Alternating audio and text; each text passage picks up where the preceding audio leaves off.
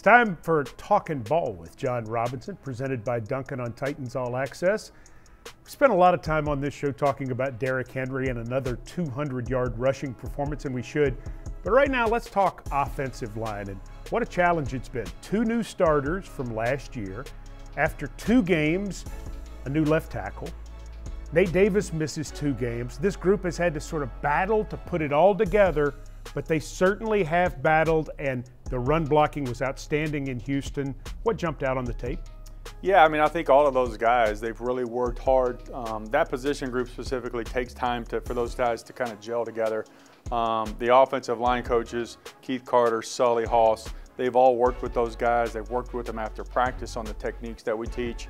Uh, but I thought those guys played really hard in that game. I'm really proud of the strides that they made and we're going to need those guys to continue to kind of come together as we go down the stretch here. You were pleased with your draft class back during the spring. You expected them to contribute.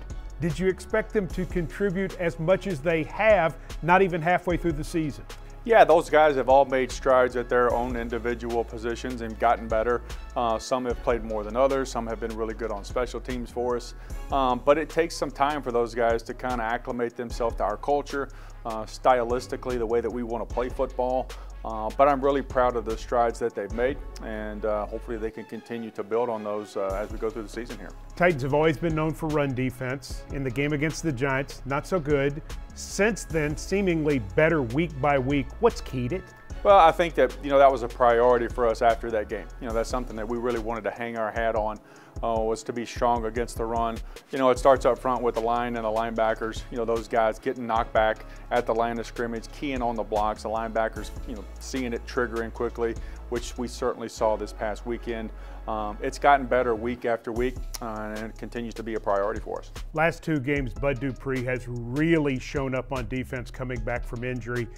The word that jumps out to me when I think of Bud Dupree is energy is the motor that he has maybe his best attribute? It's certainly a strong one, Mike. I mean, I think that's the way he plays the game.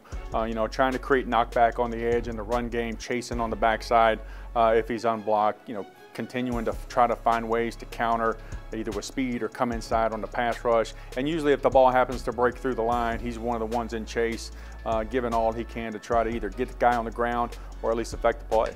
Sunday night football, Titans taking on the Kansas City Chiefs. They are 5 and 2. Anything different about the Chiefs from years past? Yeah, I mean, the staff is intact. Mahomes is still back there. It's an explosive offense.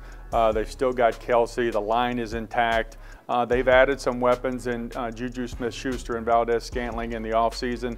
Uh, they've acclimated to that offense pretty well. It's still a pretty, you know, the same tandem of backs with McKinnon, Edwards-Helaire. Uh, the rookie Pacheco is running really good for him as well. Uh, defensively, it's an attacking front, you know, with Chris Jones, who's a perennial Pro Bowl player in the middle. The two backers, Gay and Bolton, are playing really well, and they've got some experience in the secondary. They picked up Justin Reid uh, in free agency from the Houston Texans, who we know, um, and Juan Thornhill returns back there. So experience on defense and really explosive on offense. Thanks for talking ball. Always enjoy it, Mike.